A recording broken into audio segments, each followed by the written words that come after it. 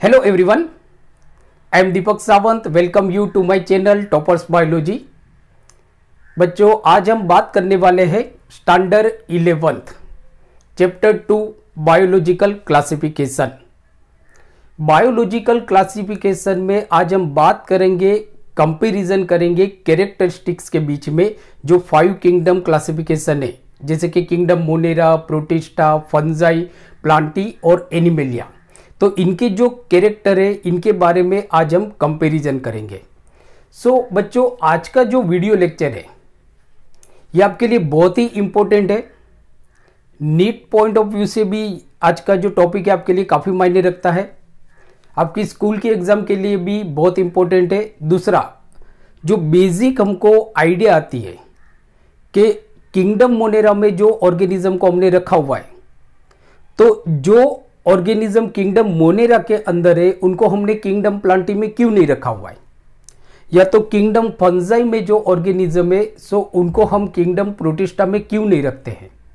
तो ये जो मतलब के हमने किंगडम मोनेरा में जो ऑर्गेनिज्म रखा है तो उनमें कुछ कैरेक्टरिस्टिक्स है। तो सबके अलग अलग कैरेक्टरिस्टिक्स के अकॉर्डिंग हमने सबको अलग अलग ग्रुप में क्लासिफाई किया है तो यहाँ पे सबके कैरेक्टर को हम कंपैरिजन करेंगे। तो जैसे मैंने आपको बताया कि आज का वीडियो लेक्चर आपके लिए बहुत मायने रखता है तो please watch today video lecture till end this is my sincere request to you so बच्चों, जैसे आप देखो कि जितने भी लिविंग ऑर्गेनिज्म है, जो हमारा टॉपिक है बायोलॉजिकल क्लासिफिकेशन तो जितने भी लिविंग ऑर्गेनिज्म है, वो सारे लिविंग ऑर्गेनिज्म को उनके कैरेक्टर्स के अकॉर्डिंग कुछ हमने बेसिक कैरेक्टर्स लिए थे, जैसे कि सेल स्ट्रक्चर लिया था बॉडी ऑर्गेनाइजेशन लिया था mode of nutrition mode of reproduction phylogenetic relationship इसके बेस पे हमने लिविंग ऑर्गेनिज्म को अलग अलग ग्रुप में क्लासिफिकेशन किया है, जिससे हमारे लिए स्टडी बहुत ईजी हो जाती है। क्योंकि हमको मालूम है there are more than 1.5 millions animals and more than 0.5 millions plant अब सारे each and every living organism के कैरेक्टर को याद रखना हमारे लिए मुश्किल है। किसी के लिए भी ये पॉसिबल नहीं है। तो हम क्या करते हैं कि जिनके कैरेक्टर सेम है, उनको हम एक ही ग्रुप में रखते हैं। जैसे आप देखोगे तो जो किंगडम मोनेरा में जो ऑर्गेनिज्म होंगे, उनके ऑलमोस्ट जो कैरेक्टर होंगे, वो सेम कैरेक्टर होंगे। किंगडम प्रोटिस्टा में जो ऑर्गेनिज्म होंगे, उनके कैरेक्टर सेम होंगे। वैसे ही फंजाई हो गया आपका, देन हो गया आपका प्लांट और देन हो गया एनिमेलिया अंडरस्टूड मालूम पड़ गया? नाउ अब जैसे देखो तो लास्ट वीडियो लेक्चर मतलब इससे पहले वीडियो लेक्चर में हमने फाइव किंगडम क्लासिफिकेशन के बारे में डिस्कशन की थी। उससे पहले हमने biological classification two kingdom classification भी हमने देखा था। फिर भी थोड़ा हम रिवीजन कर लेते हैं। अगर किसी बच्चे का वो लेक्चर मिस हो गया है तो हम थोड़ा रिवाइज कर लेते हैं। नीचे मैंने डिस्क्रिप्शन में लिंक दी हुई है सो आप उस लिंक के थ्रू उस वीडियो लेक्चर को आप देख सकते हो। तो जैसे देखो कि सबसे पहले जो केरलेस लिनस थे, सबसे पहले टू किंगडम क्लासिफिकेशन किसने दिया था? तो केरलस लिनस केरलस लिनस ने जितने भी लिविंग ऑर्गेनिज्म थे, उनको दो किंगडम में क्लासिफाई किया था। ये जो मैं यहाँ पे लिख रहा हूँ, ये आपके नीट पॉइंट ऑफ़ व्यू से बहुत ही इंपॉर्टेंट है। सो केरलस लिनविस ने जितने भी लिविंग ऑर्गेनिज्म थे, उनको दो किंगडम में डिवाइड कर दिया था। वो, और वो किंगडम कौन सा था? प्लांटी मतलब kingdom Plantae and kingdom Animalia तो Carolus Linnaeus given two kingdom classification ये आपको पूछा जाता है कि टू किंगडम क्लासिफिकेशन किसने प्रपोज किया था? तो केरलेस लिनायुस केरलेस लिनायुस के बाद अंस हिकल एक दूसरे जो साइंटिस्ट थे अर्नस्ट हिकिल अर्नस्ट हिकिल ने थ्री किंगडम क्लासिफिकेशन दिया था। मीन्स कि आपको नीट की एग्ज़ाम में आपको क्वेश्चन पूछा जाता है who propose three kingdom classification तो Ernst Haeckel propose three kingdom classification. उन्होंने मतलब कि जो कार्लस लिनस थे, उन्होंने टू किंगडम क्लासिफिकेशन दिया था, किंगडम प्लांटी और किंगडम एनिमेलिया। ऑन सीकल ने एक दूसरा किंगडम दिया था, वो था प्रोटिस्टा। तो इन्होंने थ्री किंगडम क्लासिफिकेशन दिया, प्रोटिस्टा, प्लांटी और Animalia. So three kingdom classification Animalia understood बच्चों, यहाँ से आपको नीट में क्वेश्चन पूछा जाता है। Who propose three kingdom classification now Ernst Haeckel के बाद जो कोपलैंड थे, उन्होंने फोर किंगडम क्लासिफिकेशन दिया था।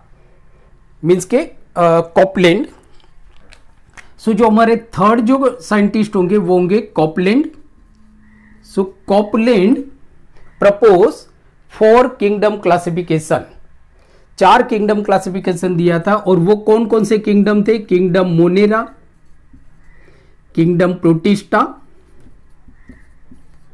kingdom Plantae और किंगडम एनिमेलिया एनिमेलिया ये एम है। और उसके बाद 1969 में अभी जो हम पॉइंट देख रहे हैं it is very important point for your NEET exam काफ़ी बार नीट में से यहाँ से आपको क्वेश्चन पूछा जाता है। तो जैसे क्वेश्चन आपको क्या पूछा जाएगा कि who propose five kingdom classification तो और कब उन्होंने प्रपोज किया था? तो फाइव किंगडम क्लासिफिकेशन प्रपोज किया था। मैं इसको ब्लैक से लिख रहा हूँ R H Whittaker so R H Whittaker propose five kingdom classification और कब इन्होंने प्रपोज किया था? यह भी आपको पूछा जाता है 1969 में। आर एच विटेकर किसने फाइव किंगडम क्लासिफिकेशन दिया था? तो R H Whittaker in 1969 five kingdom classification. और वो पाँच किंगडम थे, किंगडम मोनेरा, किंगडम प्रोटिस्टा, और दूसरा जो उन्होंने किंगडम दिया था, वो था किंगडम फंजाई। फिर plantae and animalia animalia so बच्चों, ये जो पॉइंट है who propose five kingdom classification so R H Whittaker in 1969 propose five kingdom classification मतलब कि हम ऐसा बोल सकते हैं कि 1969 में आर एच विटेकर ने जितने भी लिविंग ऑर्गेनिज्म थे वो सारे लिविंग ऑर्गेनिज्म को उन्होंने फाइव किंगडम में डिवाइड कर दिया था। फाइव किंगडम में डिवाइड किया कर दिया था। यहाँ से आपको नीट में क्वेश्चन पूछा जाता है। काफ़ी बार आप देखोगे पिछले साल के जो नीट के, प्रीवियस ईयर्स के, जो नीट के या तो पीएमटी के जो क्वेश्चन पेपर है, उसमें आप ढूंढोगे ना तो आपको काफ़ी बार ये क्वेश्चन पूछा गया है कि who propose five kingdom classification और कब? और कौन से थे? वो पाँच किंगडम कौन से थे? तो Monera, Protista, Fungi, Plantae, Animalia. दूसरा, जैसे कि आर एच विटेकर ने जितने भी लिविंग ऑर्गेनिज्म थे, वो सारे लिविंग ऑर्गेनिज्म को पाँच अलग अलग किंगडम में डिवाइड कर दिया था उन्होंने।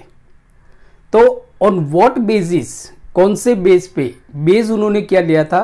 तो on what basis R H Whittaker classify all living organism in five kingdom classification बराबर। फाइव सिस्टम ऑफ़ क्लासिफिकेशन में डिवाइड किया था तो बेस क्या लिया था? तो जैसे देखो, बेस के बारे में भी आपको क्वेश्चन पूछा जाता है कि on what basis R H Whittaker classify all living organism into five system of classification तो बेस क्या था? तो जैसे आप बेस देखोगे तो फ़र्स्ट उन्होंने लिया था सेल टाइप फ़र्स्ट जो उन्होंने लिया था, वो था सेल टाइप कि जो लिविंग ऑर्गेनिज्म थे, वो कैसे थे? तो सेल टाइप में जैसे उन्होंने लिया था कि उनको मालूम था कि every living organism made up of cell जो सेल तो cell is a fundamental and structural unit of all living organism so उन्होंने फ़र्स्ट क्राइटेरिया लिया था कि उन्होंने देखा कि सेल टाइप कुछ ऑर्गेनिज्म जो है वो प्रोकैरियोटिक है, जिनका सेल अच्छी तरह से डेवलप नहीं है कुछ ऑर्गेनिज्म है वो यूकैरियोटिक है। तो फ़र्स्ट जो उन्होंने क्राइटेरिया लिया था, वो था सेल टाइप फ़र्स्ट क्राइटेरिया लिया था उन्होंने सेल टाइप दूसरा जो उन्होंने क्राइटेरिया लिया था, वो था बॉडी ऑर्गेनाइजेशन सेकेंड जो क्राइटेरिया लिया था, वो था बॉडी ऑर्गेनाइजेशन बॉडी ऑर्गेनाइजेशन क्या था? वो क्राइटेरिया लिया था। मतलब कि कुछ ऑर्गेनिज्म यूनिसेल्यूलर थे तो उनको उन्होंने अलग ग्रुप में रख दिया था। कि भाई ये यूनिसेल्यूलर है मीन्स के सिर्फ़ एक ही सेल से बने हुए हैं। कुछ ऑर्गेनिज्म मल्टी सेल्यूलर है। अब मल्टी सेल्यूलर में भी सिर्फ़ cellular level of body design है, या तो tissue level of body design organ level of body design या तो organ system level of body design या तो लेवल ऑफ़ ऑर्गेनाइजेशन तो सेकेंड जो उन्होंने क्राइटेरिया लिया था, वो था बॉडी ऑर्गेनाइजेशन थर्ड जो उनका क्राइटेरिया था, वो था मोड ऑफ़ न्यूट्रिशन थर्ड जो उन्होंने क्राइटेरिया लिया था, वो था मोड ऑफ़ न्यूट्रिशन मतलब कि ऑर्गेनिज्म का जो न्यूट्रिशन का, जो मोड ऑफ़ न्यूट्रिशन था, वो क्या था? कि वेदर ऑर्गेनिज्म ऑटोट्रोपिक्स और हिटेरोट्रॉपिक्स मतलब उन्होंने देखा कि क्या ऑर्गेनिज्म ऑटोट्रॉपिक है या हिटेरोट्रॉपिक है। तो थर्ड जो उन्होंने क्राइटेरिया लिया था, वो था मोड ऑफ़ न्यूट्रिशन दूसरा जो उन्होंने क्राइटेरिया लिया था, वो था मोड ऑफ़ रिप्रोडक्शन कि ऑर्गेनिज्म किस तरह से रिप्रोड्यूस करते थे? Mode of reproduction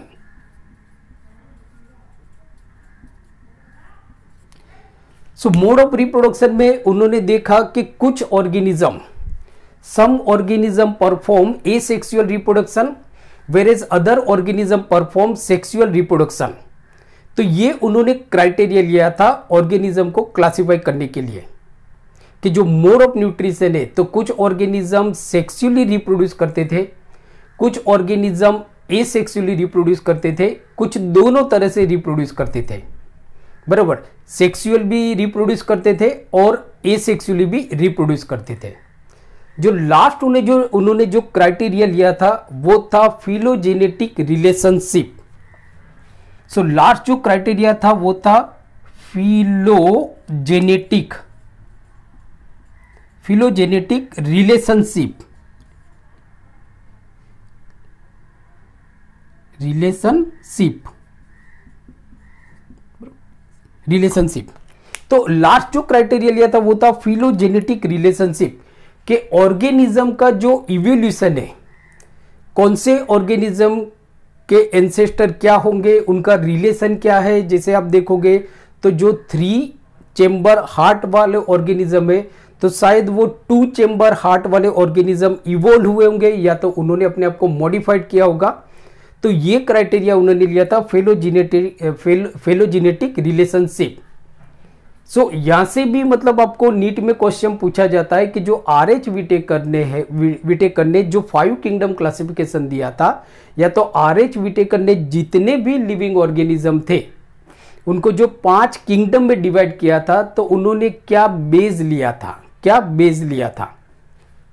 तो ये आप लिख सकते हो बच्चों, ये आपके लिए बहुत इंपॉर्टेंट है। So please write down now we see the comparison among the characteristics of five kingdom classification sorry के फाइव किंगडम ऑर्गेनिज्म तो जो पाँच किंगडम ऑर्गेनिज्म है आर एच विटेकर ने जितने भी लिविंग ऑर्गेनिज्म थे, उनको फाइव किंगडम में डिवाइड किया था। Kingdom Monera kingdom kingdom Protista Fungi Plantae और एनिमेलिया अब इनके बीच में हम कंपैरिजन करते हैं, इनके कैरेक्टर्स के बीच में हम कंपैरिजन करते हैं। कैरेक्टर जो है, इनके कंपैरिजन करते हैं। कि जैसे कि मोनेरा के अंदर जो ऑर्गेनिज्म है उनमें क्या कैरेक्टर्स है? प्रोटिस्टा में जो ऑर्गेनिज्म है उनके अंदर क्या कैरेक्टरिस्टिक्स है? या what are the differences differences between the kingdom Monera और किंगडम प्रोटिस्टा? तो कंपैरिजन से आपको काफ़ी सारा नॉलेज मिलेगा। सो so, uh, हम यहाँ पे देखते हैं कंपैरिजन तो जैसे आप देखो तो फ़र्स्ट जो हम कंपैरिजन करते हैं वो हम कंपैरिजन करते हैं सेल टाइप तो फ़र्स्ट जो हमारा कंपैरिजन होगा वो होगा सेल टाइप कि जो मोनेरा के अंदर जो ऑर्गेनिज्म है उनका सेल कैसा होता है। जैसे हमने देखा कि जो आर एच विटेकर ने आ, सेल टाइप देखा था मतलब कि सेल किस तरह से इसके अकॉर्डिंग उन्होंने लिविंग ऑर्गेनिज्म को क्लासिफाई किया था। तो याद रखो कि किंगडम मोनेरा के अंदर जो ऑर्गेनिज्म होते हैं वो सारे प्रोकैरियोटिक ऑर्गेनिज्म होते हैं। तो इनका सेल टाइप कैसा होता है? प्रोकैरियोटिक प्रोकैरियोटिक ये याद रखो प्रोकैरियोटिक होते हैं। मीन्स के किंगडम मोनेरा के अंदर जितने भी आपके ऑर्गेनिज्म होंगे, वो सारे प्रोकैरियोटिक होंगे। जैसे बैक्टीरिया की आप बात करो तो all bacterias are prokaryotic prokaryotic मतलब क्या होता है? कि जो सेल होता है, उसमें न्यूक्लियस एब्सेंट होता है, न्यूक्लियस नहीं होता है। न्यूक्लियस नहीं होता है, न्यूक्लियर मेम्ब्रेन नहीं होता है। कुछ प्रोटीन होते हैं, जैसे कि हिस्टोन प्रोटीन तो हिस्टोन प्रोटीन भी इनके अंदर एब्सेंट होता है। इनके जो डीएनए होते हैं, वो नेकेड डीएनए होते हैं। बराबर? और जितने भी मेम्ब्रेन बाउंड ऑर्गेनल से जैसे एग्ज़ाम्पल आप ले लो तो माइटोकॉन्ड्रिया तो इनके अंदर माइटोकॉन्ड्रिया प्रेजेंट नहीं होगा, क्योंकि माइटोकॉन्ड्रिया के अंदर आजू बाजू मेम्ब्रेन होता है। तो मेम्ब्रेन बाउंड ऑर्गेनल एब्सेंट तो किंगडम मोनेरा के अंदर जो भी ऑर्गेनिज्म होंगे they all are prokaryotic organism बाकी सारे, याद रखो किंगडम मोनेरा के बाद जितने भी ऑर्गेनिज्म है, वो सारे यूकैरियोटिक ऑर्गेनिज्म है। मींस के प्रोटिस्टा के अंदर जो ऑर्गेनिज्म होंगे, वो भी यूकैरियोटिक होंगे। फंजाई के अंदर जो ऑर्गेनिज्म होंगे they are also eukaryotic Plantae they are eukaryotic organism and Animalia eukaryotic organism so आपको याद रखना है एक्सेप्ट किंगडम मोनेरा बराबर, सारे किंगडम के अंदर जो ऑर्गेनिज्म होंगे, वो प्रो होंगे। मीन्स के इन सारे ऑर्गेनिज्म के अंदर सेल अच्छी तरह से डेवलप होगा। Cell membrane nuclear membrane present होगी। मेम्ब्रेन बाउंड ऑर्गेनल्स भी इनके अंदर प्रेजेंट होता है। तो फ़र्स्ट जो हमने क्राइटेरिया लिया वो था हमारा सेल टाइप। सेल टाइप के अकॉर्डिंग किंगडम मोनेरा प्रोकैरियोटिक होते, बाकी सारे जो किंगडम है वो यूकैरियोटिक होते, यूकैरियोटिक। सेकेंड जो हम क्राइटेरिया लेते हैं वो है सेल वॉल। सेल वॉल बराबर? तो सेकेंड जो हमारा क्राइटेरिया होगा, वो होगा सेल वॉल तो मोनेरा के अंदर सेल वॉल प्रेजेंट होती है प्रेजेंट प्रोटिस्टा में भी प्रेजेंट होती है फंजाई में भी प्रेजेंट होती है प्लांटी के अंदर भी प्रेजेंट होती है सेल वॉल प्रेजेंट होती है, और एनिमेलिया एब्सेंट अब देखो तो अगर सेल वॉल के अकॉर्डिंग हम देखें तो हमारे पास दो तरह के ऑर्गेनिज्म है। एक, जिनमें सेल वॉल होता है। दूसरा, जिनमें सेल वॉल नहीं होती है। तब देखो मोनेरा प्रोटिस्टा फंजाई प्लांटी इन सबके सेल के अंदर सेल मेम्ब्रेन के अलावा सेल वॉल भी प्रेजेंट होती है। सेल वॉल भी प्रेजेंट होती है। It is very important point very very important point जबकि एनिमेलिया मतलब हमारी बात करें, जो वर्टिब्रेट्स है उनकी अगर आप बात करें, जैसे फिसिस हो गए, एम्फीबियंस हो गए, रेप्टाइल्स हो गए, मेमल्स हो गए, बराबर एव्स हो गए तो इनके सेल में, सेल मेम्ब्रेन के अलावा सेल वॉल एब्सेंट होती है। ये बहुत इंपॉर्टेंट पॉइंट है आपके लिए। So please write down it. तो सिर्फ़ एनिमेलिया में जो एनिमेलिया के जो सेल होते हैं, उनमें सेल वॉल एब्सेंट होती है। बाकी एक्सेप्ट एनिमेलिया, सारे जो अदर किंगडम है, उन सब के सेल के अंदर, सेल मेम्ब्रेन के अलावा सेल वॉल प्रेजेंट होती है। अब जैसे बच्चों देखो, यहाँ से आपको कुछ नीट में क्वेश्चन पूछे जाते हैं। जैसे एग्ज़ाम्पल आप ले लो, मोनेरा। तो मैंने आपको क्या बताया कि मोनेरा के जो सेल वॉल होता है तो सेल मेम्ब्रेन के अलावा इनकी सेल वॉल भी होती है। तो मोनेरा की जो सेल वॉल होती है, वो नॉन सेल्यूलोजिक होती है। ये आपको क्वेश्चन पूछा जाता है। प्लीज़ राइट डाउन इट बराबर? मोनेरा की जो सेल वॉल होगी, वो नॉन सेल्यूलोजिक होगी। नॉन सेल्यूलोजिक मेम्ब्रेन मतलब कि जो सेल वॉल होती है, वो नॉन सेल्यूलोजिक होती है। मतलब सेल्यूलोज से नहीं बनी हुई होती है। किससे बनी हुई होती है? तो polysaccharide. Polysaccharide plus amino acid. तो it is very important point बहुत ही इंपॉर्टेंट पॉइंट है। नीट के लिए काफ़ी मायने रखता है ये। नीट के लिए बहुत इंपॉर्टेंट है। सो so, मोनेरा की जो सेल वॉल होती है it is consist of polysaccharide plus amino acids it is very important point okay now दूसरी हम बात करते हैं जैसे फंजाई की हम बात करते हैं। इनके अंदर कुछ प्रोटिस्टा होते हैं जिनमें सेल वॉल होती है। बराबर? फंजाई की अगर आप बात करो तो फंजाई की जो सेल वॉल होती है ये आ, फंगल सेल्यूलोज से बनी होती है। साइटिन से बनी होगी या तो आ, फंगल सेल्यूलोज तो यहाँ से भी मतलब आपको क्वेश्चन पूछा जाता है कि fungal cell wall is consist of please remember यहाँ से आपको नीट में क्वेश्चन पूछा जाता है कि जैसे हमने देखा कि किंगडम फंजाई के अंदर जो ऑर्गेनिज्म इन्वॉल्व होते हैं, बराबर, उनमें सेल वॉल प्रेजेंट होती है and cell wall is made up of chitin और फंगल सेल्यूलोस या तो साइटिन साइटिन से बनी होगी, या तो फंगल सेल्यूलोस से बनी हुई होगी.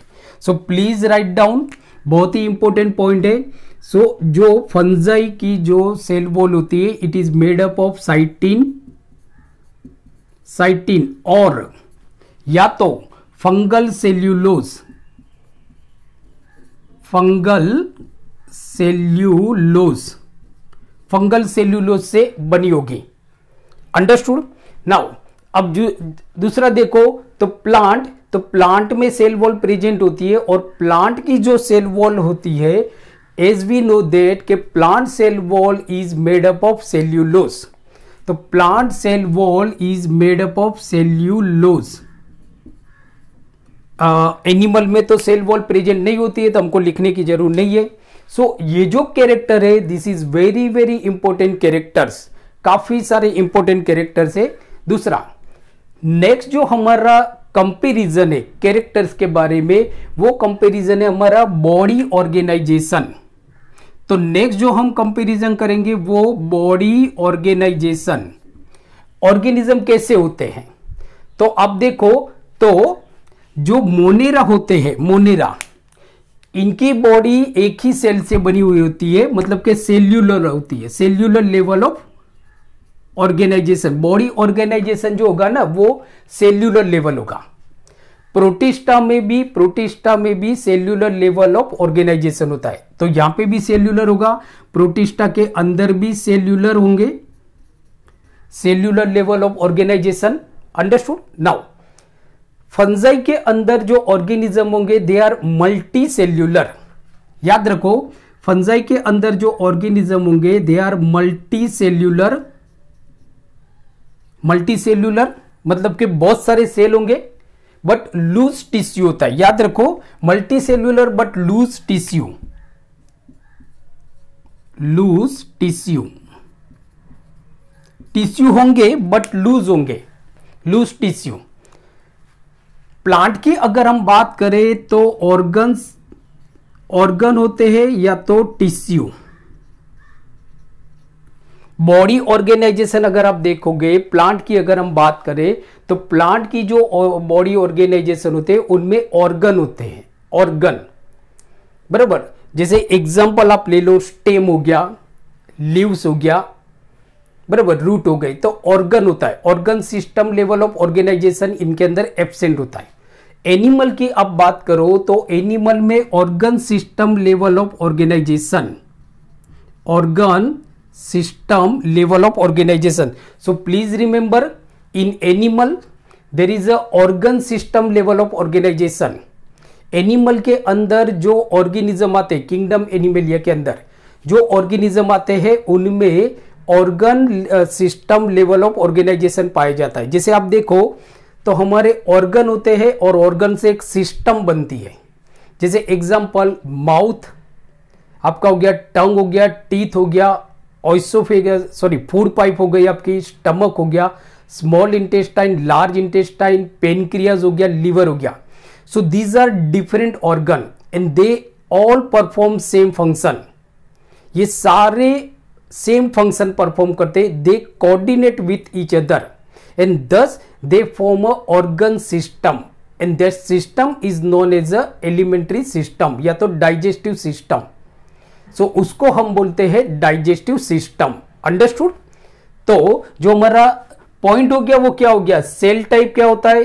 सेल वॉल क्या होता है? बॉडी ऑर्गेनाइजेशन के according cellular cellular multicellular organ या तो टिश्यू या तो organ system level of organization अब हम जो लास्ट पॉइंट के बारे में बात करते हैं जो आपके लिए बहुत ही ज़्यादा इंपॉर्टेंट है वो है आपका मोड ऑफ़ न्यूट्रिशन तो लास्ट जो हमारा पॉइंट होगा मोड ऑफ़ न्यूट्रिशन ये लोग किस तरह से न्यूट्रिशन लेते हैं? मोड ऑफ़ न्यूट्रिशन तो मोड ऑफ़ न्यूट्रिशन की अगर आप बात करो तो मोनेरा के अंदर जो मोड ऑफ़ न्यूट्रिशन होता है, वो ऑटोट्रोपिक हो सकता है या तो हिटेरोट्रोपिक होगा। दोनों तरह का मोड ऑफ़ न्यूट्रिशन होता है। ऑटोट्रोपिक ऑटोट्रोपिक और हिटेरोट्रोपिक हिटेरोट्रोपिक याद रखो तो मोनेरा में जो मोड ऑफ़ न्यूट्रिशन होगा दैट इज़ ऑटोट्रोपिक और हिटेरोट्रोपिक ऑटोट्रोपिक में भी दो तरह का होता है मींस के सम मोनेरियंस कुछ मोनेरियंस होते हैं दे परफॉर्म केमोसिंथेटिक मींस के ये अपना खाना खुद तो बनाते हैं but they do not perform photosynthesis बराबर? ये लोग केमोसिंथेटिक करते हैं। तो ऑटोट्रोपिक में भी आप देखोगे तो कुछ मोनेरियंस होते हैं they are chemosynthetic some monerans are photosynthetic और अगर ये लोग ऑटोट्रोपिक्स नहीं है if they are not autotrophic means के if they do not perform autotrophic mode of nutrition so then they are heterotrophic वो कैसे होंगे? हिटेरोट्रोपिक होंगे। अब प्रोटिस्टा की अगर आप बात करते हैं प्रोटिस्टा के अंदर जो ऑर्गेनिज्म होते हैं तो इनका जो मोड ऑफ़ न्यूट्रिशन होता है वो या तो ऑटोट्रोपिक होगा या तो पेरासिटिक होगा या तो हिटेरोट्रोपिक होगा। मीन्स के ऑटोट्रोपिक या तो हिटेरोट्रोपिक सो so, जो मोड ऑफ़ न्यूट्रिशन होगा वो ऑटोट्रोपिक होगा या तो हिटेरोट्रोपिक और हिटेरोट्रोपिक दोनों नहीं। और हिटेरोट्रोपिक इवन ज़्यादातर आप जो प्रोटिस्टा देखोगे तो they are parasitic mode of nutrition they possess parasitic parasitic mode of nutrition Fungi की अगर आप बात करो फंजाई तो फंजाई जो होते they are not autotrophic they are not autotrophic इनमें इनका जो मोड ऑफ़ न्यूट्रिशन होता है इट इज़ हिटेरोट्रोपिक तो इनका जो मोड ऑफ़ न्यूट्रिशन होगा वो हिटेरोट्रोपिक होगा। हिटेरोट्रोपिक अब हिटेरोट्रोपिक में आप देखोगे ना तो कुछ फंजाई होते हैं, वो सेप्रो सेप्रोफाइटिक होते मीन्स के they depend on the decay material जो सड़ी हुई चीज़ होती है, उसको ये लोग खाते हैं। तो हीटेरोट्रोपिक में आप देखोगे तो सम फंजाई आर सेप्रोफाइटिक। कुछ फंजाई होते हैं, वो सेप्रोफाइटिक होते हैं। Saprophytic mode of nutrition. इन किसी में आप देखोगे तो parasitic mode of nutrition, parasitic mode of nutrition. Understood? Plant की आप बात करते हो बच्चे हो तो ये तो बचपन से हमको मालूम है कि प्लांट फोटोसिंथेसिस, सिंथेसिस करता है मतलब कि प्लांट अपना खाना खुद बनाता है। तो प्लांट में जो मोड ऑफ़ न्यूट्रिशन होता है, it is autotrophic mode of nutrition और फोटोसिंथेटिक। तो प्लांट में जो मोड ऑफ़ न्यूट्रिशन होगा, वो ऑटोट्रोपिक होगा। ऑटोट्रोपिक बराबर। और ऑटोट्रोपिक में क्या होता है वो? फोटोसिंथेटिक ये लोग फोटोसिंथेटिक करते हैं।